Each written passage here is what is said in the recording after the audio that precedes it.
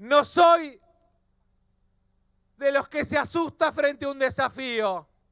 Efectivamente, cuando había que agarrar la papa caliente y muchos de los que hoy se pasean por los canales hablando vanidosamente de candidaturas, se metían abajo de la cama, nos paramos, pusimos el cuerpo y nos hicimos cargo. Y la verdad,